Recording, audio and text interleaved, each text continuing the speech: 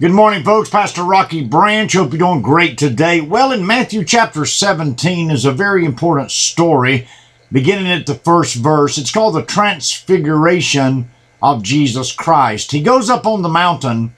He takes Peter, James, and John, and there Moses and Elijah appears with Jesus Christ. And Peter, James, and John witness this incredible account and the Bible says in the book of Luke that they talk about the death of Christ in Jerusalem. Now, Moses lived 900 years before Jesus and Elijah 700 years. And here's two patriarchs in the Bible that are incredible in Israel's history. And there they have been raised up and they appear with Jesus Christ. Now, this passage tells us an enormous amount of things, all of which I don't have the time to get on all of what it tells us. But what I want to draw your attention to is what it does for us. Now, Jesus is transformed. They see him in his power. And Luke says he's white as snow. And here the light glistens upon him, and he becomes transformed before Peter, James, and John to the point that they bow their heads and, and just absolute awness and in humility in the presence of power. And what happens here is that Jesus is giving Peter, James, and John, which would be the cornerstones of the new church, he's giving them an experience worth dying for. And I want you to hear me. When they are talking, when Jesus is talking to Elijah and Moses, and the men, Peter, James, and John, up on that mountain have to bow their heads out of just absolute uh, humility and the awesomeness of power, when they raised their head back up after hearing a voice from heaven of saying, This is my Son in whom I'm well pleased, hear ye him. It's interesting to know that these three men, the cornerstone of the church, they were committed for the rest of their lives to die for Jesus, to serve Jesus, to do whatever because of this experience. Now, they had little rough edges on them, just like we do. But they had an experience at this point seeing the glory of God, and that experience for them was worth dying for. Now, let me ask you this question Have you had an experience with Jesus? Now, this is very important. Have you had an experience with Jesus Christ in your life that you say, I, I, I'm convinced that He's the Christ?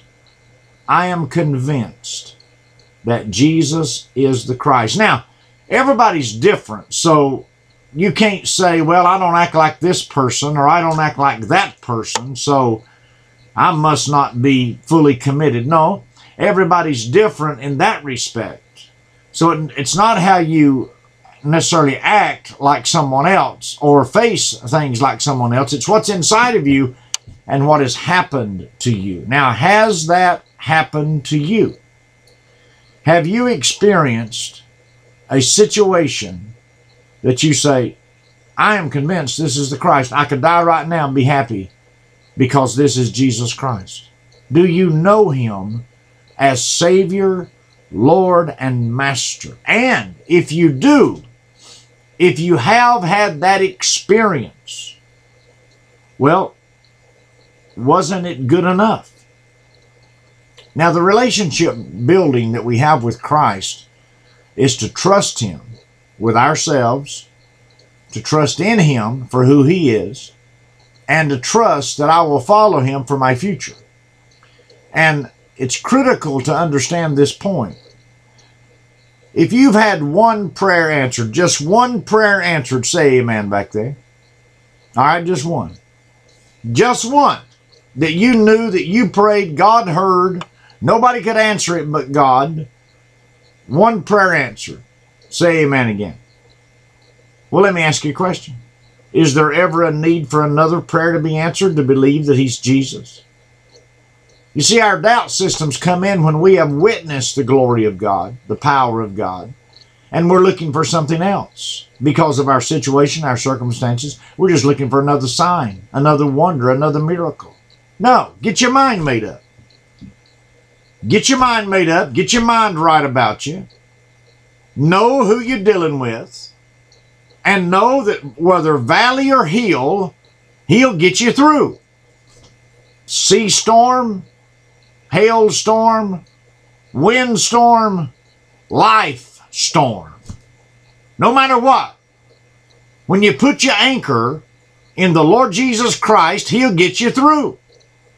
So don't get scattered when things go awry and you say, Lord, are you there? Well, do you believe He's there? Have you had that experience with Him? Oh, yes, you say, I've had that. Well, then listen, no matter what comes, in the height above or in the depth below or the hell that's under the depth, nothing can overpower you if you've had that experience with Jesus Christ. Oh, you say, I'm a bit weary. Well, amen. We're all a bit weary. But where can you go back to in your life and say, you know what? He did it there. Thank God he'll do it again. Say amen. He'll do it again. No matter where you are today, he will do it again.